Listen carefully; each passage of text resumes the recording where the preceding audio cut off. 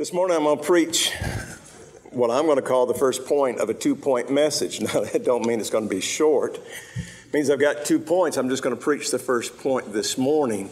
So I hope you'll come back this afternoon. Again, it's early afternoon service, 3.30. Now, you don't have to leave at all, but if you do leave, if you eat and need to go take a nap, or if you just want to go home after church, whatever, uh, come join us back at 3.30 as we have our early afternoon church service. We don't do this but once a year, but I hope that you'll come back and other churches that aren't meeting, or even people that you know that go to another church, invite them to come join with us as well. Let's read three verses to get us started. The title of the message is Daniel Understood. Start at Daniel chapter 9, verse number 1. It says, In the first year of Darius, the son of Ahasuerus, of the seed of the Medes, which was made king over the realm of the Chaldeans, in the first year of his reign, I, Daniel, understood by books the number of the years whereof the word of the Lord came to Jeremiah the prophet, that he would accomplish 70 years in the desolations of Jerusalem. And I set my face unto the Lord God to seek my prayer and supplication with fasting and sackcloth and ashes. Notice in verse number two, towards the first part of the verse, I, Daniel, understood. I, Daniel, understood. If I've got my figures right, this coming Thursday, the United States of America will celebrate its 250th birthday. 250 years as the United States of America. Now, to some of us, that seems like a long time. And for people that only live 70, 80 years, 280 is a heap of years. But when you compare how long America has lived compared to some of the other nations and empires of history, it's actually a very short time. The Roman Empire existed for over a thousand years before it fell. The Grecian Empire, depending on how you count when it started and when it ended, lasted from 1200 to 1300 years. So America's 250 years is rather small when you start stacking it against some other nations, some other kingdoms, and some other empires. Of course, the United States of America has never desired to be an empire. Our country has been content with being a nation, a country. Even so, America's influence on the globe, I would say, has been second to none. Seems like this country, in the 250 years that it has existed, has touched virtually the entire world, the entire planet that we live on, and has done so for many years consecutively in a row. Some people wonder, what's the source of America's great influence? And people have guessed. People have said, well, it's our military might. Others have said it's our wealth. Others, especially in these last years, have said it's our technology. And I suppose different people, for different reasons, have been impressed by the United States of America, and maybe those three have been what's impressed a lot of folks over the span of our country's existence. But if you're a born again believer that knows your Bible, you know the true source of the power of the United States of America. It has been our God and the righteousness that He has lent to us. This nation has, throughout its entire 250 years, made no bones about it, no apologies for it. We have followed the one and only true God. Yahweh, some call him. Jehovah, some call him. Most Christians in this New Testament era simply refer to God through the name God or Jesus Christ. Our country has been built on the principles and the precepts of the Bible, of the Word of God. Now, I know there are people telling you that's not true today. They're liars. That's the way this country came to be, based on the Bible, founded by Christians. For many years, the term was used that we have Judeo Christian beliefs. Judeo referring to the Old Testament Bible, Christian, referring to the New Testament Bible, those two put together have been the foundation for our country these 250 years. And they're why we have been such a powerful nation and why we have been such a wealthy nation and why God has blessed us with so much technology. But if our righteousness has been the source of our power and influence, our unrighteousness is becoming the source of our demise. We have turned away from God. There was a time when you could honestly have referred to the United States of America as a Christian nation. Knowing everybody was never a Christian, still, because of the way the Bible influenced this country, we were a Christian nation. You can't refer to us that way any longer. We are a godless, Christless, wicked nation today. And I believe as righteousness was our strength, unrighteousness, if we don't do something quickly, will be our demise. The reason I've asked you to turn to the book of Daniel is because there was another nation in history that followed a similar path. In the book of Daniel, that nation, Israel, is actually further down the path than America is likely to ever go. Daniel's country, the nation of Israel, had started out as a nation of rags. They had become a nation of riches. Then they became a nation of ruin. And as Daniel is reading the Bible in these first three verses, he's aware of the fact that the nation of Israel is about to be restored. So it's like two mountaintops. They went from rags to riches to ruin, but Israel was going to be given another chance by God to go back to being a nation of status and riches. United States of America probably, probably won't get to see that second peak. And if people like you sitting in churches like this don't take a stand for God and let God fully control their lives, I can guarantee you there'll be no second mountain peak. But as Daniel was reading the Bible, he began to notice God was given to Israel another opportunity to be restored. America, we started as rags. We've gone to riches. Now we're sliding rapidly down into ruin. And I think we need to understand some of the things that Daniel understood. He tells us in verse number two, as I was reading the word of God, I, Daniel, understood. This morning, let me give you three things that Daniel understood. Three things that I think you and I need to understand. Number one, Daniel understood that the Bible was the Word of God. Daniel understood that the Bible, the book that you hold in your hand, was the Word of God. In verses 1 and 2, he tells us what he was doing. He was reading through the books, and he was reading specifically the book of Jeremiah. That's an Old Testament book. Jeremiah lived approximately 80 years before Daniel lived. And, and the Bible says, as Daniel was reading what Jeremiah had preached and wrote, that's when he understood. He understood Daniel's, uh, excuse me, Jeremiah's prophecy, the one that's actually given in the book of Jeremiah, chapter 25, verses 9 through 11. That's exactly where Daniel was reading at. In that portion of Scripture, Daniel was reading where Jeremiah said that God was going to send one of those great world empires, the Babylonian Empire, to come to Israel and to defeat it and to destroy it, to carry it away for a time period, a time period of 70 years and then at the end of that 70 years, Jeremiah prophesied Israel would be brought back into the land and be given another opportunity. So, as Daniel is reading through the book of Jeremiah, he comes to chapter 25 and he's reading this prophecy. He himself, Daniel, is an old man now. He was born in Israel. He was actually a boy when Jeremiah was preaching and preaching this very message.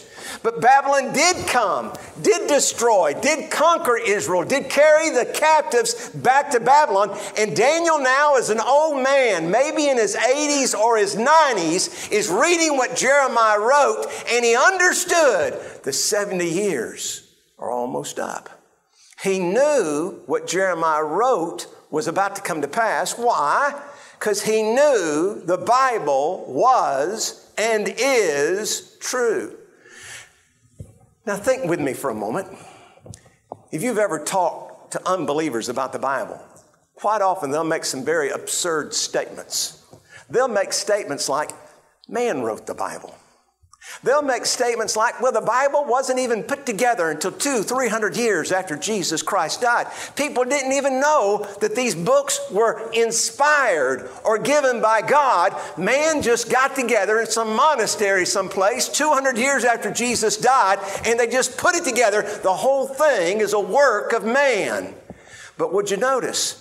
Jeremiah, a captive in a foreign language, in a foreign land, several thousand miles away from Israel. The Bible says in verse number two, he was reading the books. What does that mean? He was reading the individual scrolls that each of the men of God had written before him. He was reading what Isaiah wrote. He was reading what Amos wrote. He was reading what Jeremiah wrote. He was reading what Moses wrote. Why was he reading those scrolls? Because he knew they were the Word of God. He was reading a book that wasn't any more than 80 years old. I don't know that he ever met the man Jeremiah. He would have been a young lad, maybe 10 10, 12, 15 years of age. But he was taken as a captive, as a young man from the nation of Israel. So he was in the same city at the same time Jeremiah was preaching this message, and he knew Jeremiah was a man of God. And he knew what Jeremiah wrote was the Word of God. And didn't nobody have to wait 200 years after Jesus Christ died to know that the Bible is the Word of God? People have always known that the men of God who were filled with the Spirit of God were writing the Word of God, and they've always treasured it and they've always believed it. Could I just tell you, the next time somebody comes up to you and says, Men got together 200, 300 years after Jesus died and put together the Bible, would you just tell them they don't know what they're talking about and show them what happened in the book of Daniel, chapter number nine? Daniel is teaching us a truth God's people have always recognized God's word as being inspired. But having understood that, let's ask a couple of questions. Number one, how did God know what was going to happen to the nation of Israel? I mean, here's God speaking to Jeremiah, and I'm going to use the figure 100 years before Daniel, just to keep it rounded off. It's probably closer to 80, but I'm going to use the figure 100 years before Daniel, and God spells out to Jeremiah what's going to happen. Babylon is going to come from a long distance away, going to conquer you, defeat you, take you away to their land. You'll stay there for 70 years, then God's going to bring you back into the land, and He's going to give you another choice. How did God know what was going to happen? Now, I can sum this up for you in a short phrase. Because God is God. Amen. Because God is God. But I want to teach you something a little bit more than that. So I'm going to give you a little bit more than just that simple answer God is God. How did God know what was going to happen? Two things. Number one, because God makes some things happen. God makes some things happen. And number two, God knows everything else that will happen and has a plan for it. Let's talk about both of those. Number one, God makes some things happen. I don't know if you know it or not, but God's God. That means God's all powerful, God's sovereign, God's in control of everything. And yes, God does make some things happen. He does not make everything happen. He does not make any individual reject Jesus Christ. He does not make any individual do anything bad. He can't do those things. You say, Preacher, how do you know? Because James wrote, James chapter 1, verse number 13, that God cannot be tempted with evil, neither tempteth he any man to do evil. To reject Jesus Christ is evil. God would never do that. It's against his nature. So God won't make anybody or any nation do anything that's wrong, evil, or wicked. He does, however, make some things happen. From time to time, God works in the hearts and the minds of people to get them to do things that He wants them to do.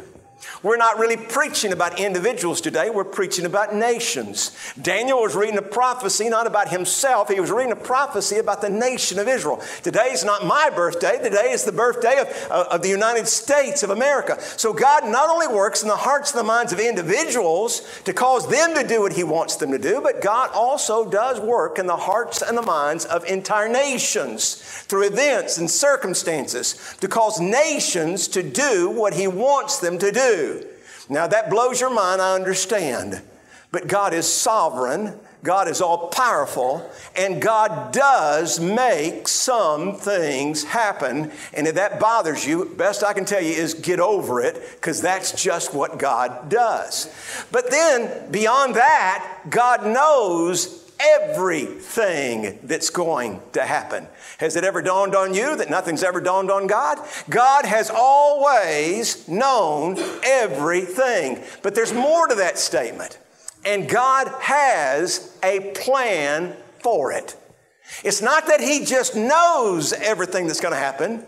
God has a plan for everything that He knows is going to happen. Let me give you three thoughts I want you to kind of keep these in your head. Write them down if you want to, but keep them in your head. Number one, God's purpose.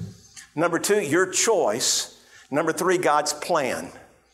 God's purpose, your choice, God's plan. God's got a purpose.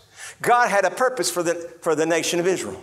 You want me to tell you what God's purpose for the nation of Israel is? Was and is? God's purpose for the nation of Israel is the same as it is for you. It's the same as it is for me, and it's the same as it is for the United States of America. He's got the same purpose for everybody and everything. What's God's purpose? God's purpose for the nation of Israel, for the United States, is that we would honor God and obey Him. There's never been a human being ever born, not one, not ever, not at any time, not in any dispensation, not in any country, that God ever had a different purpose for making them. God's purpose for making everybody is that they would honor God and that they would obey God. God's purpose for the nation of Israel, that they would honor him and obey him. But God does give choices. Israel had a choice. God made them with a purpose, but God's given them a choice. You can either honor God and, dis, uh, and obey Him, or you can dishonor God and disobey Him. By the way, you've got the same two choices. You sitting here today, God made you for a purpose to honor Him and to obey Him. You make the decision whether you'll do that or what. By the way, you can't make a, uh, you can't make a choice God doesn't give you, but you can make the choices God did give you. And this is your choice. You can either do it or not do it. That's the only choice you've got. Number one, God's purpose. It's the same for everybody. It's the same for every nation. Honor Him, obey Him. The choice. God gives every nation a choice. God gives every individual a choice. You can either do it or not. Number three, God's plan. Regardless of what choice you make, God's got a plan for you. If you choose today to start honoring God and obeying Him, God's going to bless your socks off. God's going to save your soul, adopt you into His family, fill you with the Holy Ghost, give you a mansion in heaven. God's going to call you one of His own, anoint you with His Spirit, call you to do mighty works. God has a plan for you if you will surrender to His purpose. You've got a choice, but God's got a plan. However, God's also got a plan if you say no. God had a plan for the nation of Israel. Jeremiah, a hundred years before Daniel, stood on Jewish soil and preached to Jewish people that if you don't do God's purpose, you've got a choice. If you as a nation won't do what God put you here to do, God's going to bring Babylon up here. Babylon's going to destroy you, defeat you.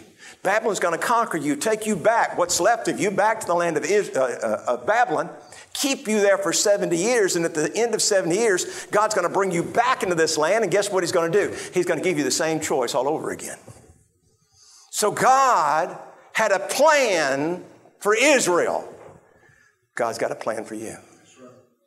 God's got a plan for the United States of America. Same purpose for all of us. I don't care who you are. I don't care how old you are. I don't care how stubborn you are. I don't care how much you do know, how much you don't know. I don't care how many times you've, you've, you've claimed to be saved, how many years you've claimed to be saved. I don't care how many times you rejected Jesus Christ. God's purpose for every human being, for every nation is still the same. God wants you to honor Him and to obey Him, and the first step of that's getting saved. It's your choice, though. He won't make you do it. He's got a plan. You get saved, He's going to bless you. I don't know what He might do to you if you reject Him. Not immediately, but He's got a plan. I'm going to tell you, it's not going to be pleasant. It never is when you fall into the hands of an angry God. It's never pleasant. But I can tell you how your, your, your life will end. That's not exactly the right term. I can tell you what your end will be. If you keep rejecting God and rejecting God and rejecting God, refusing to honor Him, refuse to obey Him, refusing His Son, you will die and you will go to hell. You will stay in hell to the great white throne. Revelation chapter 20, verse number 15. You'll be brought out before God to be judged. Then you'll be cast in the lake of fire forever and forever. That's ultimately the plan that God has for every person that will not honor Him and obey Him. Now, you might live another 50 years. There may be a whole lot more hurts, a whole lot more sorrows, a whole lot more problems between now and then. But ultimately, if you keep rejecting God, that is what will happen because God's Word is true. First question How did God know what was going to happen? Well, because number one, He makes some things happen. Number two, He knows everything that's going to happen, and He's got a plan. So Daniel, reading the Bible, began to understand Israel had a choice. They made the wrong one. God's plan was to send them away. Now the 70 years is almost up, so it's about time for them to go back into the land.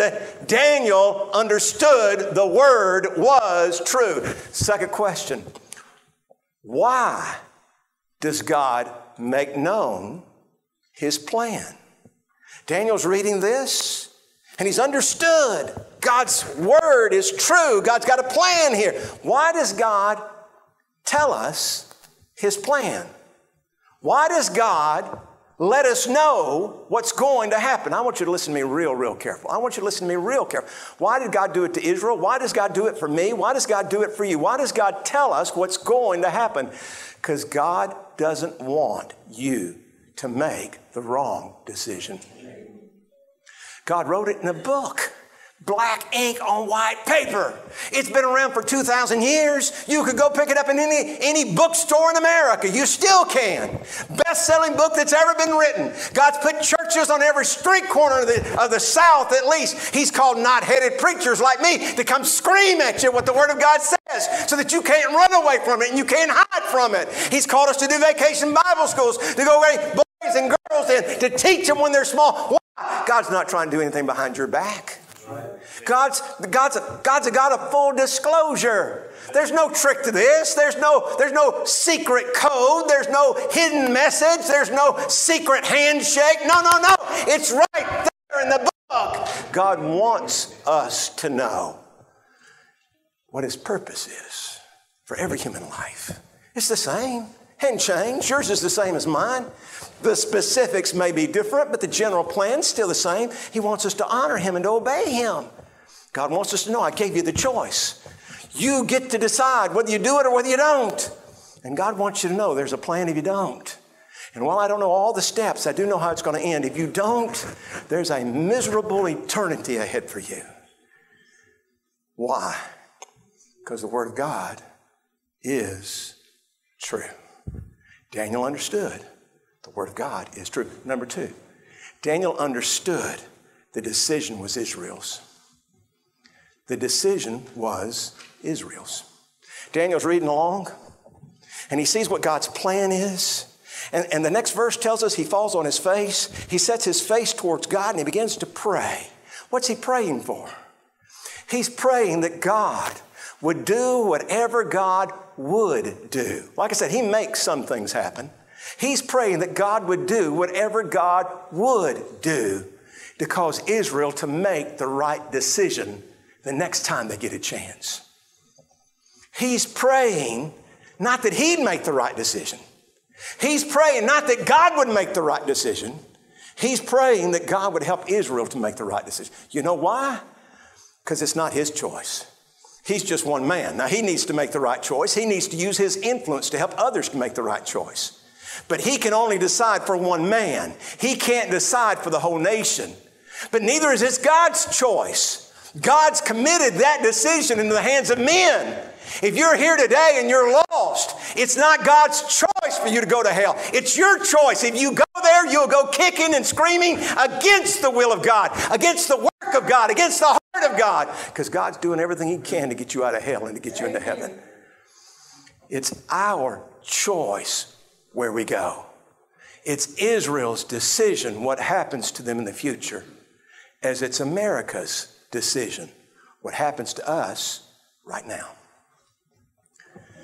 Now, if I were to ask you, you might would think I'm preaching about Israel.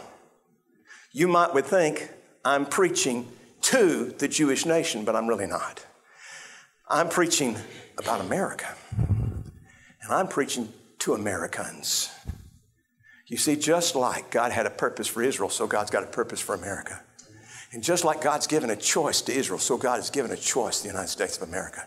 And just like God's got a plan for Israel, so God's got a plan for the United States for America. And it's America's decision what America will do. I can decide for me, I can use my little sphere of influence to get as many people as possible to go with me to heaven, but I can't decide what the United States of America is going to do. America has to make that decision. Truth of the matter is, the United States of America is not mentioned by name anywhere in the Bible. You will not read it from cover to cover and find United States of America anywhere in there. You won't find our shortened name, the United States, or our other shortened name, America. It won't be in there anywhere. That's not to say that we're not referred to in some, some manner or the other. God often speaks in parables and in symbols, and it may be that symbolically the United States of America might be mentioned somewhere in some obscure text. But it really don't matter if it is because nobody's going to know it until it's too late to do anything about it, okay? Uh, it's hidden and it'll stay hidden. So for all practical purposes, the United States of America is not mentioned anywhere in the Bible. Yet, we're talked about because we're like so many other nations. Take your Bible. You won't need to keep Daniel chapter 9. I won't come back to it this afternoon. But go over to the book of Psalm, if you would. The book of Psalms. Let's read some verses that talk not just about us, but about nations like us. Go to chapter 50, verse number 22. Psalm chapter 50, verse number 22.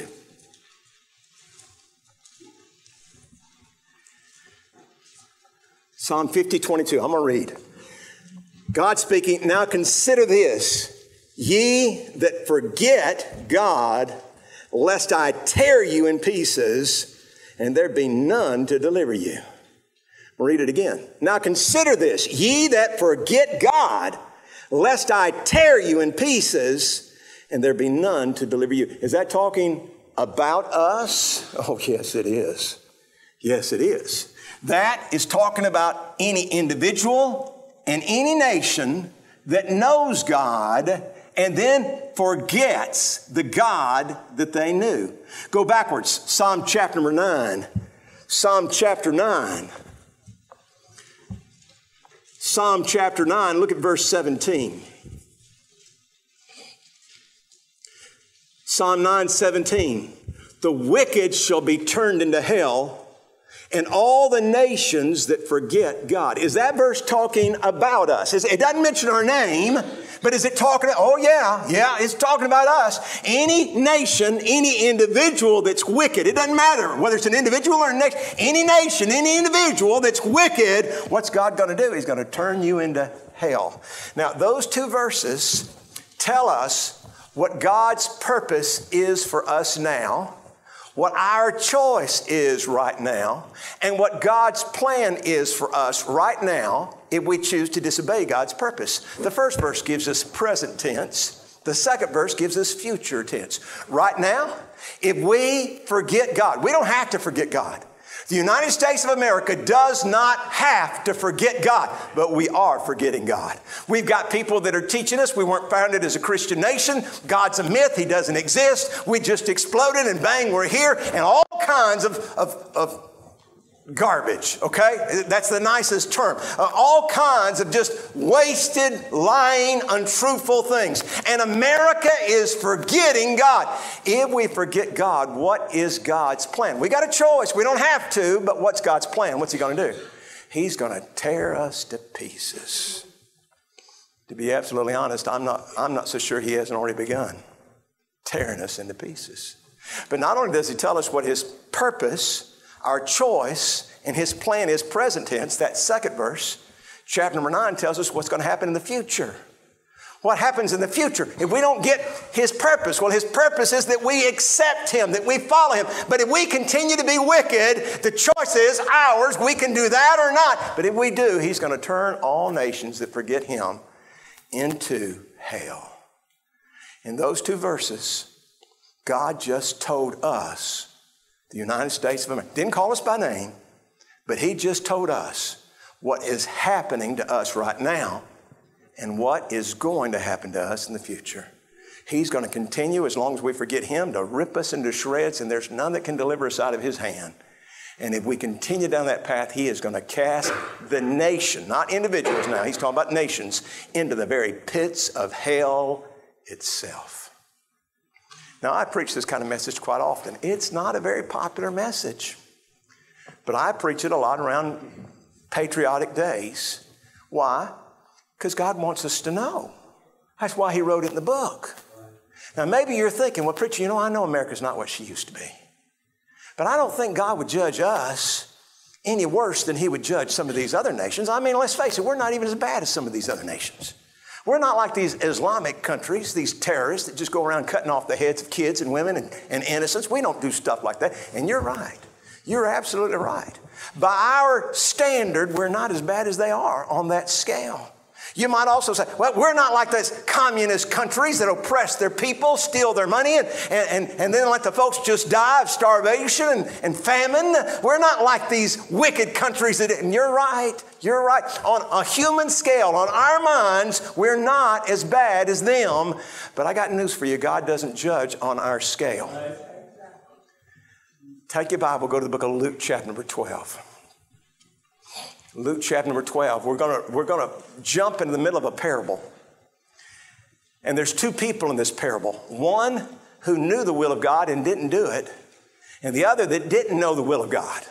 Both of them now are before God being judged. In this parable, one that knew the will of God and didn't do it, one that didn't know the will of God, did bad, but he didn't know the will of God. Now they're being judged. Pick up at verse 47. Luke chapter 12, verse number 47. This is the servant that knew the will of God and didn't do it. Verse 47 And that servant, which knew his Lord's will and prepared not himself, neither did according to his will, shall be be- beaten with many stripes. Oh, he's going to get he's going to get some judgment poured on him. Look at the next verse. This is the guy who didn't know. Verse 48. But he that knew not and did commit things worthy of stripes shall be beaten with few stripes. For unto whom for unto whomsoever much is given, of him shall be much required. And to whom men have committed much, of him they shall ask the more. Now wait a minute, wait a minute. Who got the worst licking?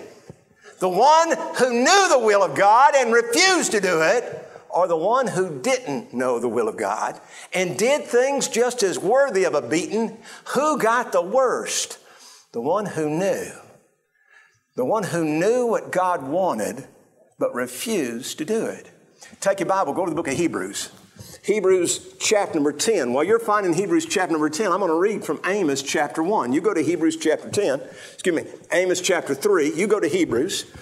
Amos chapter 3, verse number 2, God speaking, you only have I known of all the families of the earth, talking the nation of Israel. You only have I known of all the families of the earth. Therefore, I will punish you for your iniquities. If there's ever been a country in these New Testament days that God has known, if there's ever been a nation that God has known and loved and blessed, it's been the United States of America.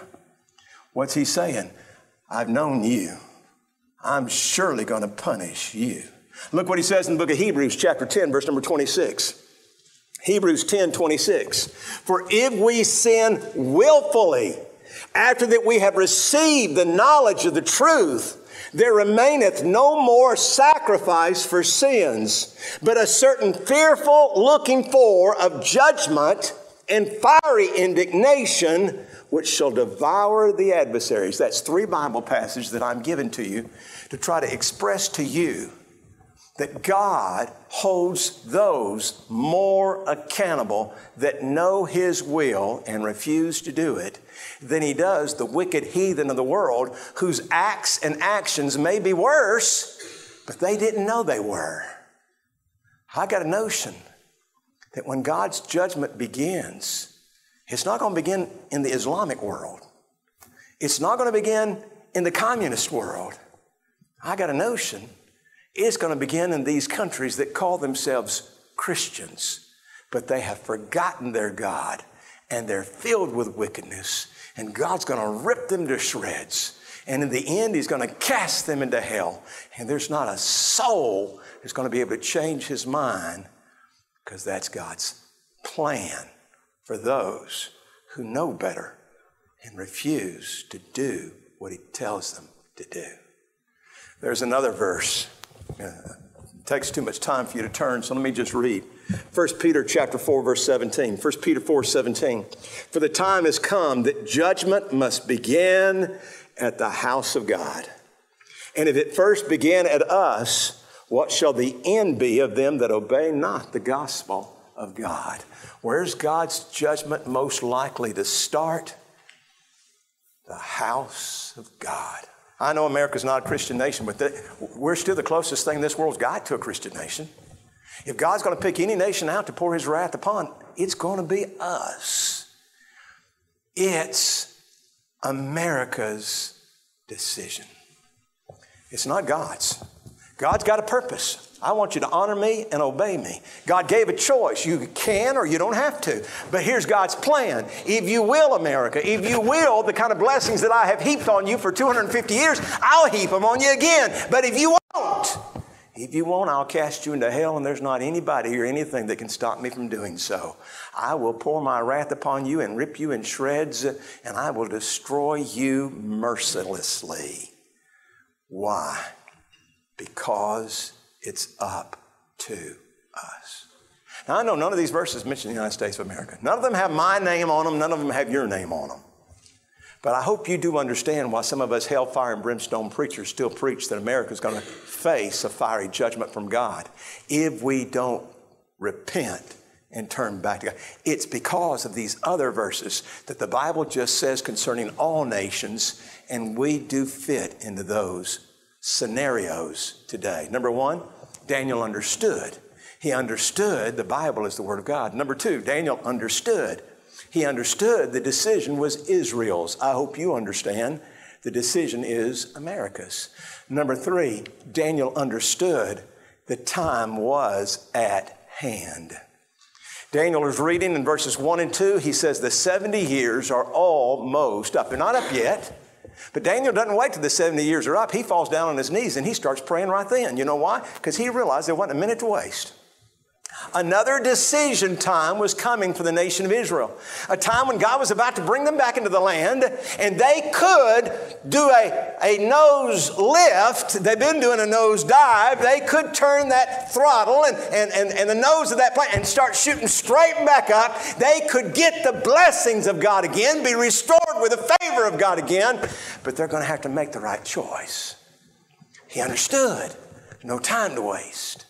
So he began to use his Bible and his faith to ask God, to beseech God, to pray to God, God, please do whatever you will do. I'll do whatever I can do, but God, you do whatever you can do to cause Israel to make the right choice the next time they have an opportunity.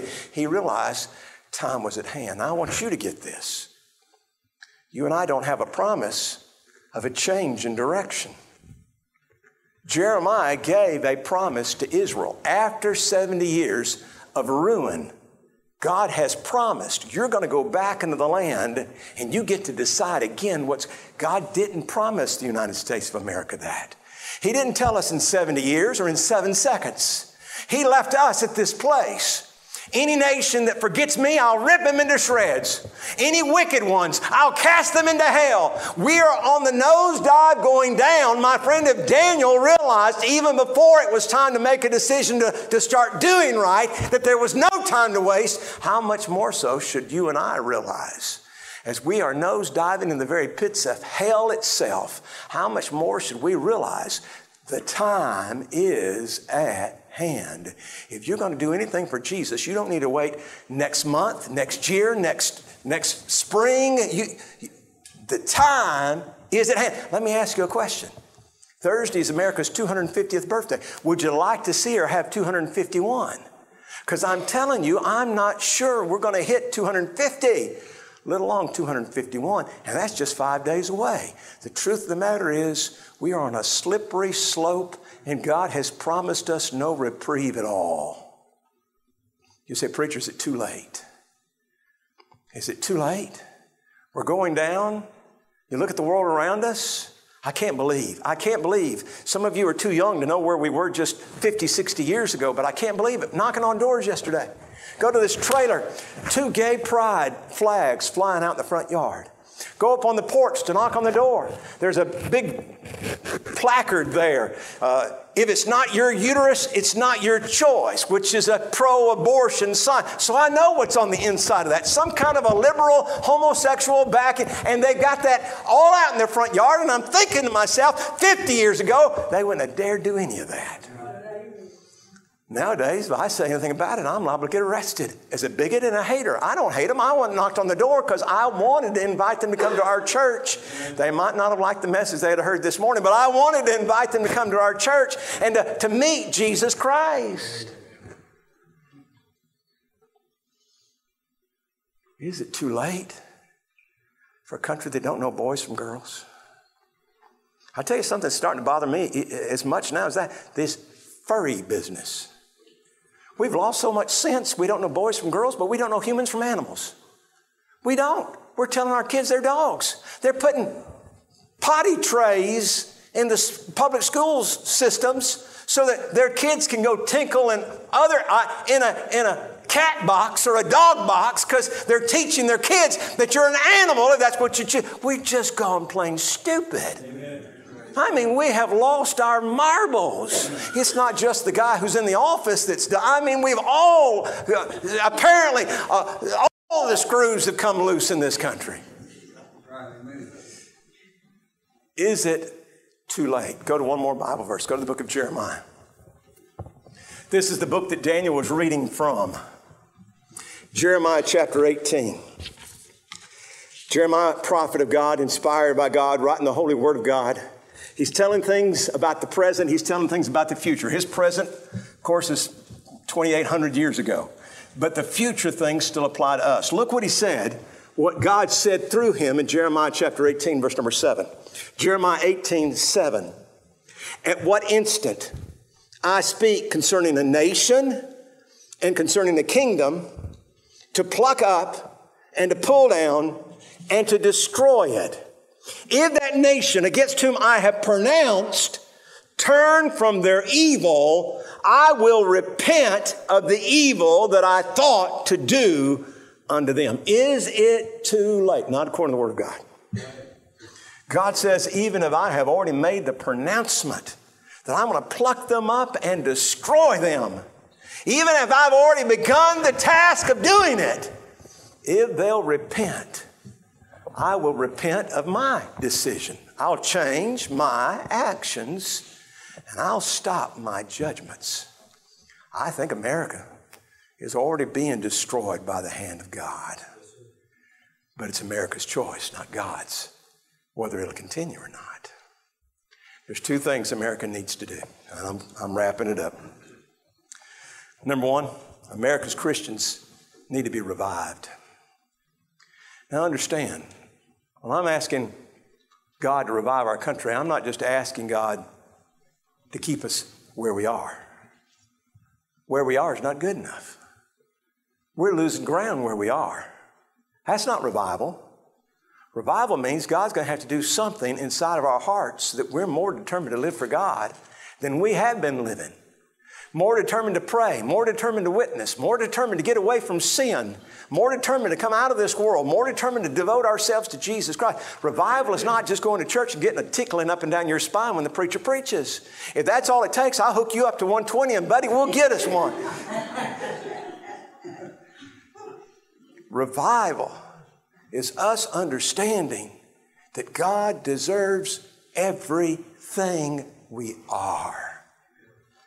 And we hadn't had one of those in this country. In, well, to my knowledge, I've not ever seen one in my 50 years of being a Christian. I know people have these little movements here and they think that's, a, that's not a revival. That's that feeling.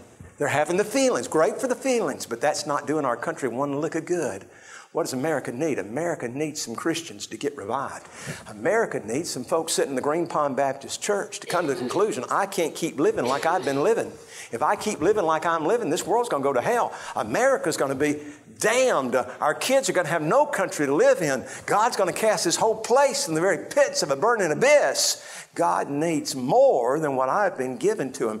If that don't happen the Green Pond Baptist Church, a good church, a godly church, one of the best churches I think on the face of the earth, but if we don't get revived and give God more than we're giving him, we're going to lose a whole ball of wax. Number one, what needs to happen? America's Christians need to be revived. Number two, America's lost need to have a spiritual awakening. They can't get revived. Revived, re, means do it again. Vive means alive. They can't be made alive again. They hadn't been made alive once. You don't get alive and you get born again. They need a spiritual awakening. They need to see that they're lost, that Jesus Christ died on the cross for them, that they need to repent of their sins and surrender themselves to Jesus Christ. And there's a world all around us today who think they're going to heaven and they're not. They think because they got their name on some roll someplace that that ensures their, their place before God, but they've never surrendered themselves. They've never, ever believed to the place it changed their life. And without such salvation, you've got no salvation at all. 2 Corinthians 5:17 Therefore if any man be in Christ he is a new creature. Old things are passed away behold all things are become new. If there's been no change in your life, there's been no Christ in your life. And sitting inside this room this morning are probably people who think you're going to heaven and you're not. I sat in a church just like this for years, thinking I was going to heaven and I was as lost as lost could be. And the proof was in the fact there was no change in my life. And if you honestly look at your life, you can tell there's been no change in your life either, except you go to church every once in a while. Friend, that's the best change you've got. You've got no change at all. I go see a mechanic every once in a while. I go to the bank every once in a while. They don't make me a teller, they don't make me a mechanic. It takes more than just showing up to church on an occasional Sunday. What does America need? America needs what Daniel came to understand. What do you understand? The Bible's the Word of God. It's written for our benefit. God wants us to understand all these things. Daniel understood it's our choice. God's not going to make it for us. You're going to have to make it yourself. Daniel understood the time is now. If you're lost, you need to get saved today. If you're saved, you need to give all to Jesus, not just a little bit, all to Jesus. Would you pray with me? Let's stand, please. Father, thank you for the opportunity to preach the Bible. Thank you for this great host of folks. And Lord, I know some of them are leaving and this is late for them, but God, I only get them once a year. So, Lord, I pray that you'd open up their heart and help them that they might trust what the Word of God is saying to them today, what the Spirit of God is saying to them today. Save souls, revive Christians, change lives, and change eternity.